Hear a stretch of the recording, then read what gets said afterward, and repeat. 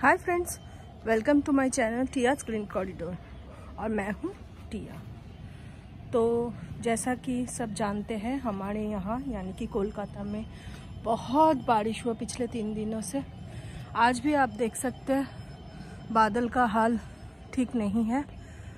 तो winter garden का तो पूरा सत्यानाश हो चुका है। ये पिटूनिया तो एकदम ज़्यादा पानी होने के वजह से क्या हाल हो गया देखिए। दो दिन से तो मैं ऊपर आ ही नहीं सकी क्योंकि 24 फोर आवर्स बारिश होने लगा है। तो इसी हालत में मैं आप लोगों को थोड़ा अपडेट दे देती हूँ मेरा गार्डन का क्या हालचाल चल रहा है। तो शुरुआत में ही मैंने आप लोगों को पिछले वीडियो में बोल रहा बोला था कि मेरे यहाँ कॉलीफ्लावर हुआ है फूल गोभी तो ये देख सकते हैं। इनमें भी आए हैं, लेकिन पता नहीं अब बारिश में इनमें फंगस लग जाएँगे या नहीं। ये देखिए। मिर्ची भी आप देख सकते कितने सारे लगे हुए हैं। बैंगन तो एक बार मैंने हार्वेस्ट कर लिया है, दूसरी दफ़ा इसमें फूल आए हैं। और कैप्सिकम भी देख सकते हैं आप। छोटे छोटे कैप्सिकम आए हैं। और ये टमेटो देखिए, कितने सारे टमेटोज आए हैं।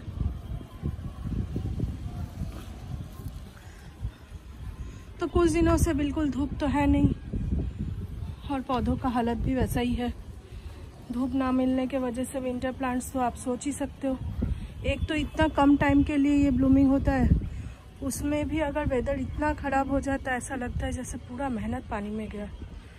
ये दो महीने की गार्डनिंग के लिए बहुत मेहनत करना पड़ता है, बहुत ही। और उसमें भी अगर बारिश हो जाए तो मन बहुत ख़राब हो जाता है। देखिए, आज ये डेलिया कितना बड़ा है, मैं आपको ये देखिए, मेरा हाथ देखिए, इसमें कितना खूबसूरत है। कई सारे डहलिया ये वाला स्पेंट हो गया। ये ना, ये दो नए आए हैं। जो स्पेंट हो गए, वो मैं निकाल दूँगी ताकि नए जो आएँगे, वो अच्छे से बड़े बड़े खिलेंगे। आज इतने दिनों के बाद मैं ऊपर आई हूँ। एक चीज़ तो बहुत अच्छा है कि इम्प्रेशन बहुत अच्छे खिलने लगे ये देखिए। हालाँकि टब में पानी बैठ गया था, मैंने अभी सब उनको एम्प्टी किया। लेकिन पूरा भर गया है ये, देखिए।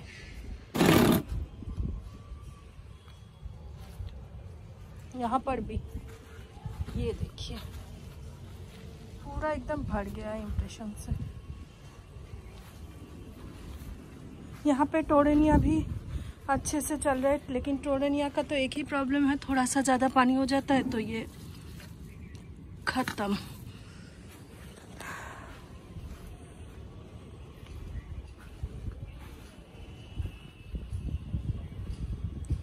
और बोगन विलिया देखिए कितना अच्छा फ्लावरिंग पे आया है। और बारिश हो जाने के वजह से ना सारे फ्लावर्स झड़ रहे हैं बोगन विलिया के। वहाँ ऊपर भी मेरे सारे बोगन विलिया है कई सारे। ए, एक और डालिया। इस साल दहलिया तो मेरे यहाँ बहुत अच्छा खिले हैं। मैं खुश हूँ एटलीस्ट इंसान करते करते ही सीखता है। और मैंने भी अभी सीखा है किस तरह से इनको आप अच्छे से कर पाएँगे, खिला पाएँगे सॉरी यहाँ पे जो पिटूनिया शेड के अंदर थे वो लोग, वो तो वैसे तो अच्छी ही ब्लूम कर रहे हैं। ये स्टेयर के इस पर देखिए, इनका भी हालत बहुत ख़राब है। जो डायरेक्ट पानी के नीचे था, उनका हालत बहुत ख़राब है।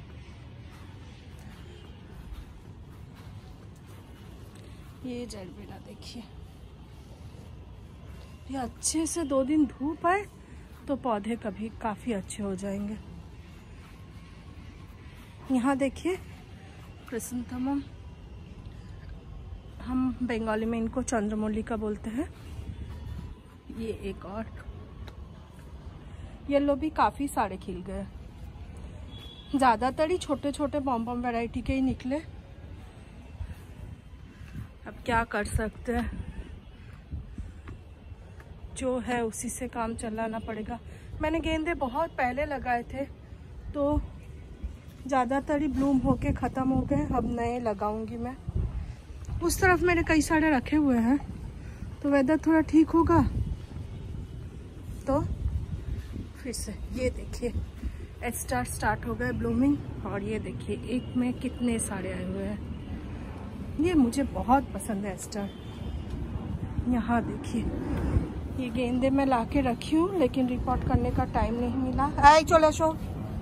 सोच रही हूँ, इनको रिपोर्ट नहीं करूँगी, इसी में रखूँगी ग्रो बैग में। ये देखिए कुछ और। ये बहुत खूबसूरत कलर है, और ये ऐसा ही रहेगा अभी, एक महीने के लिए। ब्लूम होने के बाद। वेदर अच्छा रहा तो ऐसा ही रहेगा। यहाँ पर भी काफ़ी क्रिसनथमम ब्लूमिंग पे आ गए हैं। एक वीक में सब क्रिसनथमम खिल जाएँगे। और अगर ऐसा बारिश का वेदर रहा तो सब ख़त्म भी हो जाएँगे। अब तो मैं सिर्फ़ प्रे कर सकती हूँ कि भगवान वेदर को थोड़ा अच्छा कर दो। बहुत मेहनत करना पड़ता है एक विंटर गार्डन के लिए। और अगर वही बारिश वेदर की वजह से ख़राब हो जाए ना बहुत दुख होता है, क्योंकि ये तो फिर से हमको अगले साल मिलेगा।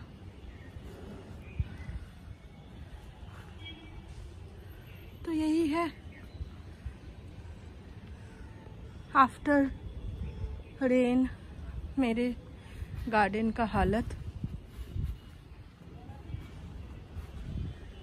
ओके फ्रेंड्स अगर आपको अच्छा लगे तो एक लाइक कर दीजिए, और अगर आप नए हैं तो प्लीज़ सब्सक्राइब कर लीजिए।